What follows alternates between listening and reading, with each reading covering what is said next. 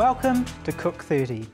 I'm Jeremy Dixon from the Revive Cafes in Auckland, New Zealand, and also author of the Revive Cafe cookbooks. And today I'm going to share with you some delicious cafe style food you can cook in your own home. Cook 30 Food's about using delicious whole food ingredients. We're going to be using great protein sources like beans, lentils and nuts, whole grains like brown rice and quinoa. We're going to use fresh fruit and vegetables and tie it all together with international flavours and fresh herbs and spices. And the best part about Cook 30 food is you do not have to spend hours slaving away in the kitchen. I'm going to show you in the next 30 minutes how you can cook a nutritious, delicious meal for your family and you'll be surprised how easy it is. On the menu today we have one of my favourite recipes, curried Indian zucchini fritters. Very, very quick. Once you've learned it once, you'll be able to make it many times. We're going to be serving this with a Revivedorf salad and a very own tofu mayo. On the side we have a pineapple and mint salsa and to finish a plum ginger oat slice for dessert. Mmm, delicious. Okay, we're going to start backwards today. The thing that's going to take the longest is the oat slice and we want to get that in the oven. It takes about 25 minutes to cook so we want to mix it up and get it in straight away. So to start with we're going to use oats. And we're going to use the quick oats, which is basically the same as big oats, except they've just been, um, been ground up into small pieces so they cook quicker. So we're going to start with three cups. One, two, three cups. Then we're going to put in some oil. So we've got, how much oil? Four tablespoons of oil. We're going to add some sesame seeds. Sesame seeds toast up really nicely, so they're great for this recipe. So we want half a cup of sesame seeds. Um, we're also going to put some almond meal in as well, and this is just almonds that's been, been ground up. You can make your own if you want as well. And we want half a cup of ground almond.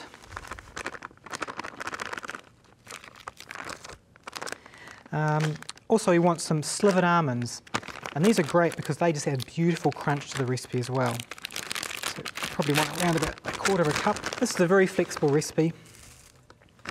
Quarter of a cup there. And uh, we're going to need some honey. So we want around about three quarters of a cup of honey, so quite a lot, quite a lot of sweetener. A lot of sweets would have huge amounts of sugar, so this amount of honey is actually not, not a huge amount really. I think that's all the ingredients. Oh, ginger. And this is something you probably wouldn't find in a sweet very often, but it goes really, really well with the plums. So we want two teaspoons of ginger puree. You can use um, whole ginger if you want. Well, these ginger purees are really, really good as well. Look at that. And to finish it off, we want to have some unsweetened coconut. Very hard to find unsweetened coconut. Make sure you find it. It is around.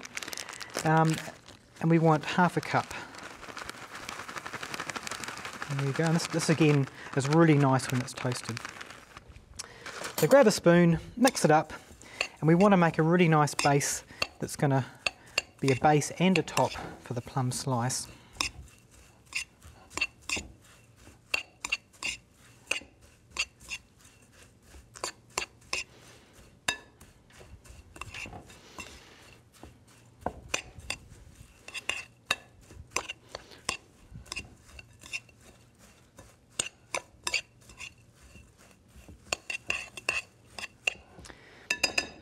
Okay, we're just going to put a little bit of oil in our, we're going to use this dish here. Just a touch of oil so it doesn't stick. You use a brush or just use your finger to put it around, especially the corners, that's where it sticks mostly. And we're going to put half of the mixture in here. And then we're just going to press it down. So nice and securely. So it's going to basically become a base that's going to cook together. Now this, this pot is a little bit bigger than my mixture, so you can just make it, just use part of it if you want. And the next part we want some whole plums, so some purple plums. And this recipe is very versatile. You can actually use apricots or any other kind of canned fruit you want as well. So just open these up. Pour them in the bowl here, look at that. I'll just open some more as well. So you want three small cans or three these size cans.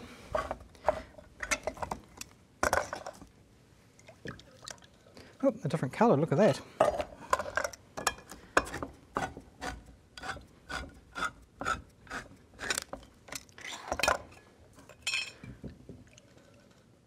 Might just drain all that juice off.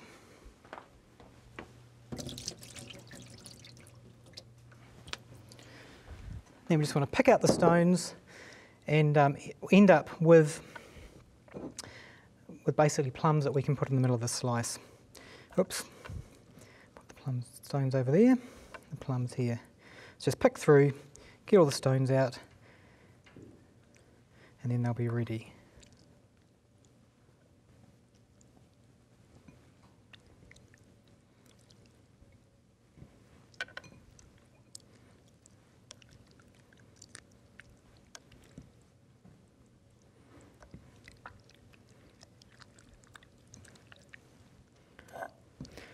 Got all those plums out, all those stones out, just give them a little bit of a squeeze. Got a little bit of moisture, but not much. And we're just going to press that on the slice. Just like that. Press it down. And now get the rest of the topping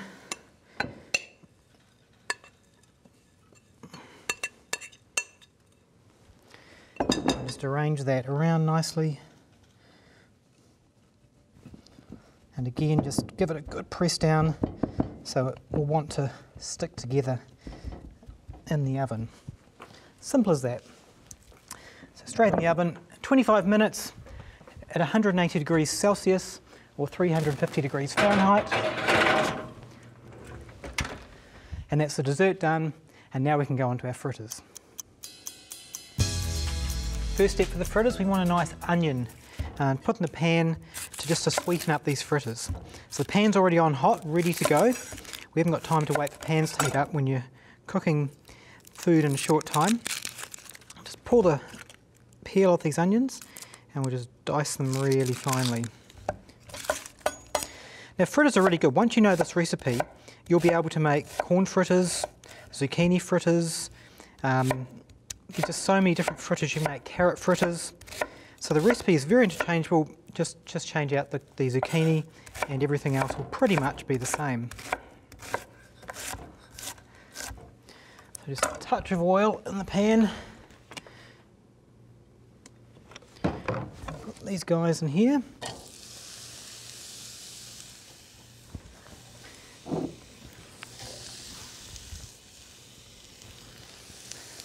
Um, when you're cooking without meat, you really need to do a lot more work with your flavours. Meat has a lot of things in it that makes it taste good, so you need to really work hard with things like onion, garlic and all these flavours we're using. So cooking you know, plant-based foods is, is, a little bit harder and requires a, a little bit more skill. So we've done that, we've got the onions underway. They'll take a few minutes just to caramelise up. Um, we've got some nice zucchini or courgettes, depending on what country you come from. Just slice off the end and we're just going to grate these in a hand grater.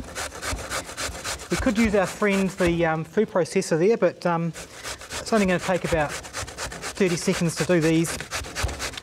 Do two at a time and it's not really worth the cleaning effort just for two zucchini. So sometimes it is actually worth doing it the old fashioned way. Getting there, let's go. Making sure you avoid grating your thumb as well. There we go. Uh, next ingredient is besan flour.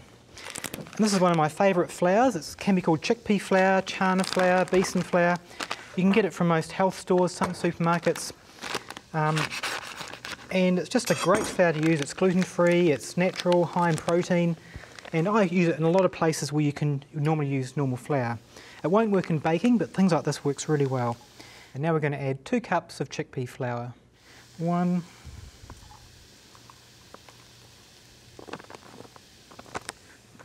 there we go. Now with this recipe we need to add water sometimes. Um, there's a lot of moisture in the zucchini So sometimes you can get away with actually no water at all, and sometimes you may need to add up to a cup of water. So it just depends on what the state of your ingredients are.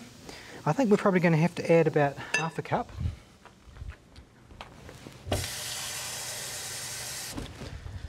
So just keep adding it slowly and then mixing until you get a texture that you want for, for fritters.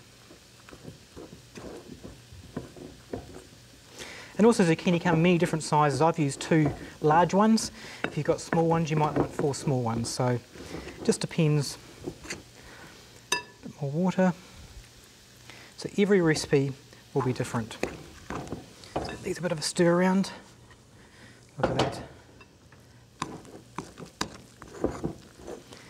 I think we're nearly at the right consistency. Perhaps a bit more.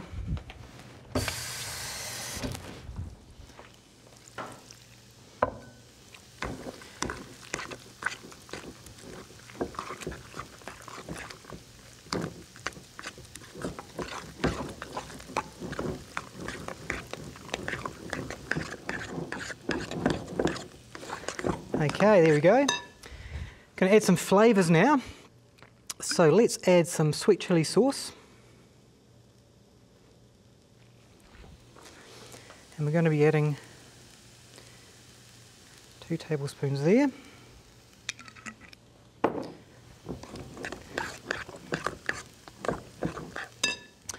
And also some black sesame seeds. And these just have a beautiful colour. So we want about two tablespoons of these um, black sesame seeds. Just look at that beautiful colour they give. Just a bit of contrast to make it interesting.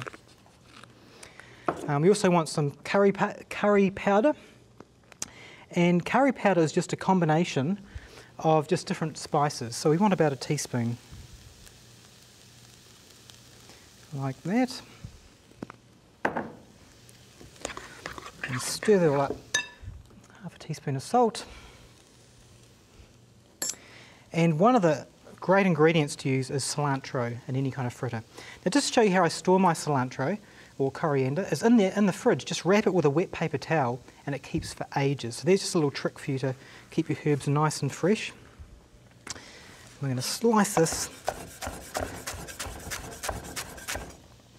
and put it in like that. Nice and chunky.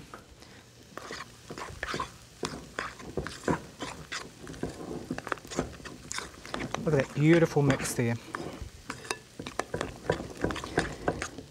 These onions are cooked now, nice and soft, so we're putting those in. I'm going to use the same pan to cook them in. So we've got a hot pan all ready to go. Look at that beautiful mix.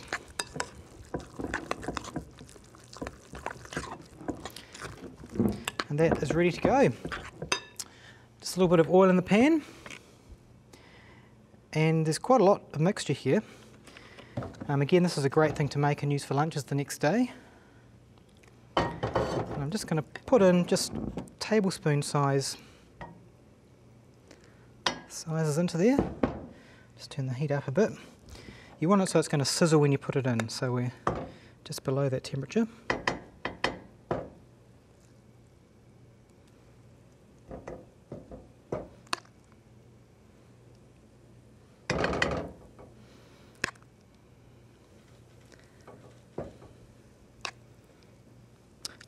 Don't they look wonderful?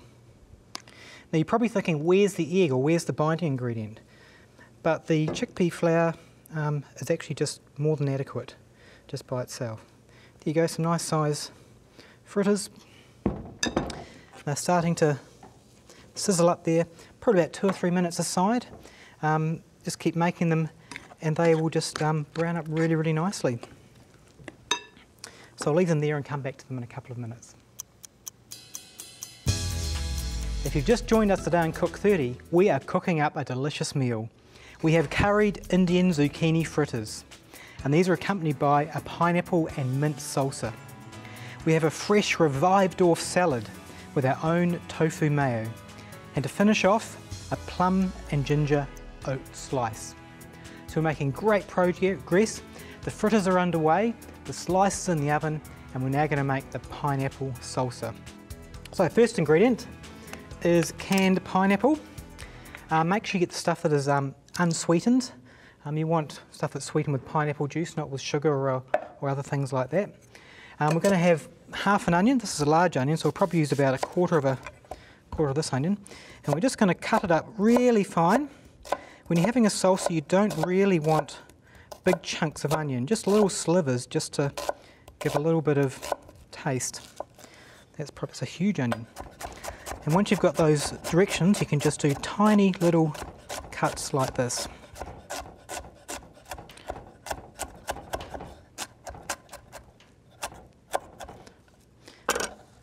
That's onion done. Um, we're going to add some lemon juice just to give it a bit of a bit of extra zing. You can use a squeezer or just squeeze it through your fingers.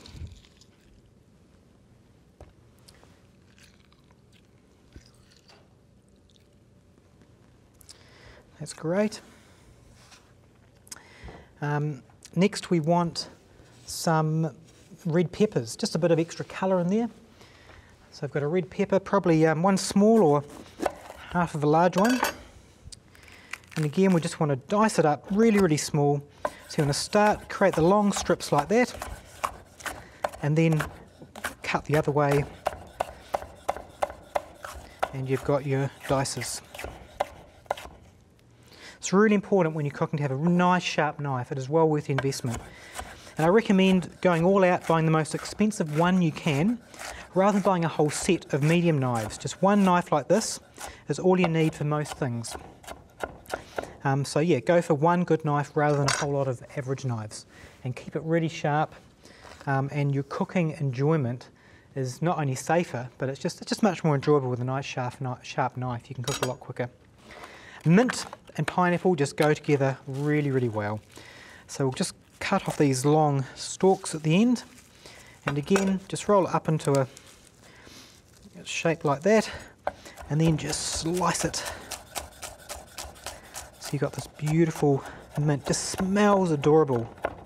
If you can grow mint where you're living, it's so easy to grow and just adds so much flavour. So many dishes. There we go. And a little bit of cayenne pepper, optional, but just a little touch of this. Um, we'll just, just heat it up a little bit and make it into a salsa. So just a tiny, tiny amount. Um, is that all the ingredients we have? I think it is.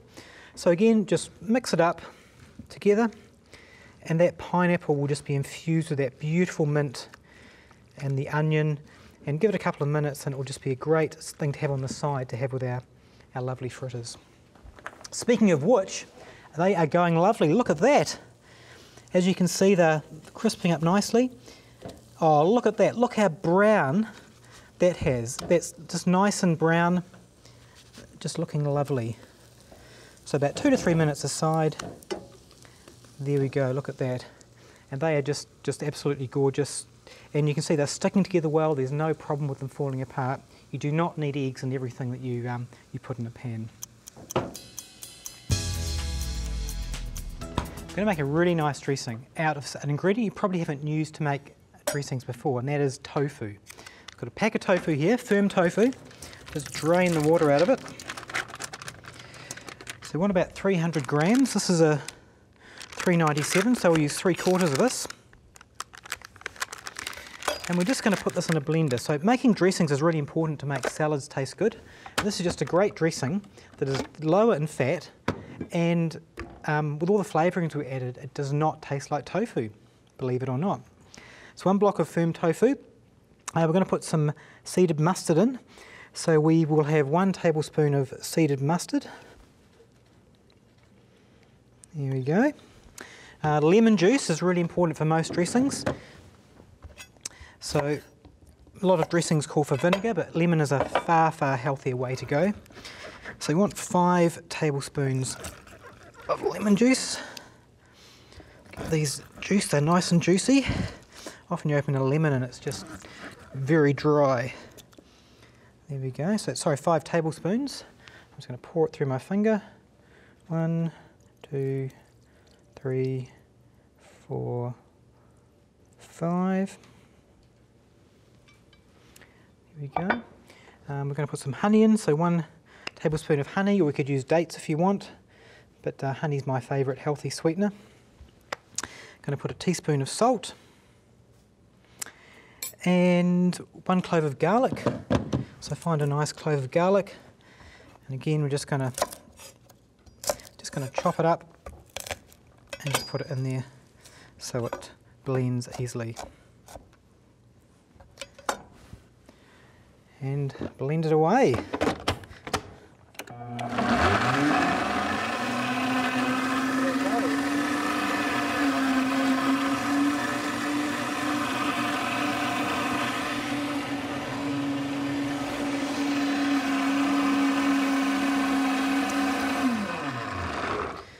Probably the most thing to look for is the texture. Let's just have a look at there. Yeah, look at that. Drip off, perfect texture for a dressing. So you don't want it too watery, that's perfect. Let's give it a try. Just check you can taste the lemon coming through, taste the salt. Doesn't taste too tofu-y. Yep, tastes, tastes nice. But often you may want to add some more garlic or lemon, but I think that's about right. So that's our dressing, tofu mayo, that we're going to use in the next salad. Okay, let's plate up some of these fritters. Nicely done. Look at that. I'll just put another batch on here. There's a bit of residual oil in the in the pan. So we'll throw on four more. Get them cooking away. Um, so you can make little ones if you want little hors d'oeuvre type type size, or keep them big for main meal size. Turn the gas up a little bit get those underway. Alrighty, let's do the Revivedorf salad. So from the fridge, I'm just going to get some ingredients. So this is a very fresh salad, and um, the main ingredient is actually apples. So we're going to just going to chop some of these up. So the easiest way to chop an apple is cut it in half, cut it through there. You want to minimise your cuts. So get rid of all the cores that you don't want.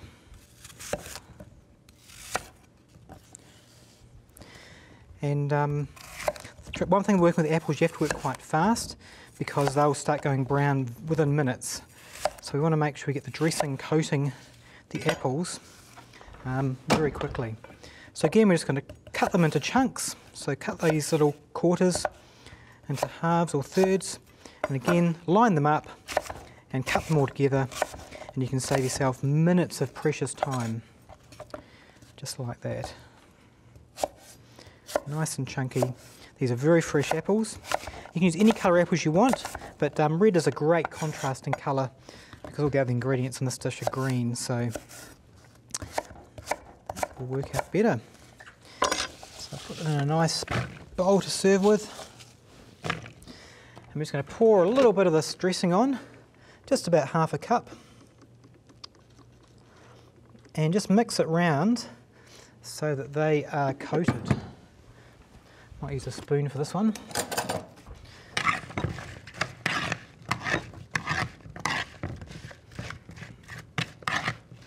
So once they're coated in the dressing, they won't go brown, so you're safe. So there's, that's the only sense of urgency with this salad.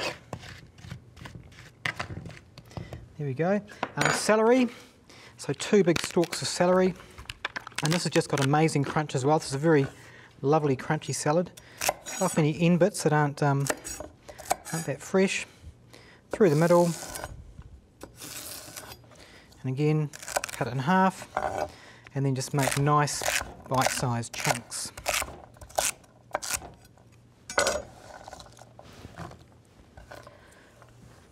Actually might throw another, another stalk on. It looks like it needs another one.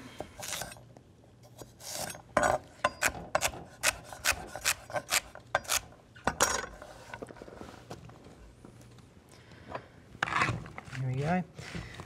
So now I've got some baby spring mix. mix. There's mesclun lettuce, there's lots of different mixes you can get. But some of these are just, look at that, look how nice and fresh that is. It keeps in your refrigerator for, can be a week or so. So it's a great um, ingredient to have around for salads. So I'm going to put around about two to three cups of that in. And there's like baby spinach, there's all these different all these lettuce names, I wouldn't, there's actually a beetroot leaf in there. Um, different lettuce names you wouldn't know how to pronounce, but they just taste really good and add a great texture to salads. Um, and then we're going to add some walnuts. I'll wait till the end for those. So mix this up. Where's my spoon gone? Mix this up. So you don't want the, um, the, mess, the lettuce, oh there it is, it fell in the bowl. You don't want the lettuce to be totally covered in dressing. It's mainly the apple that you're worried about. So you want to make sure you've got the chunks of apple on top showing through and looking beautiful. Okay, we'll just put a bit of a drizzle of lemon on there. It'll help it go off, help it as well. And then finish off with these, these little beauties, walnuts. So about half a cup of walnuts on top.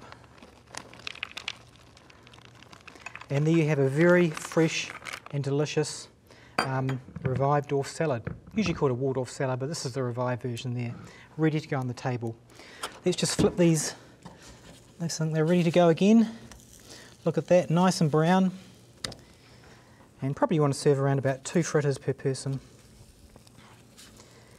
And I think that's everything ready to go to the table. And let's see how this plum ginger oat slice is going. Oh, it's hot in here. Look at that, nice and golden brown ready to go. We'll just cut it up into some squares and plate it up and it's all ready. And there you have another Cook 30 meal. I hope you've learned some new tips and using new ingredients and new techniques so you can get meals on the table faster for your family. Eating healthy food will really impact your life, so I encourage you to try out these new recipes, these new ingredients and techniques, so you can have lots more energy and vitality in your life. Thank you for joining me on Cook 30 and I look forward to seeing you next time.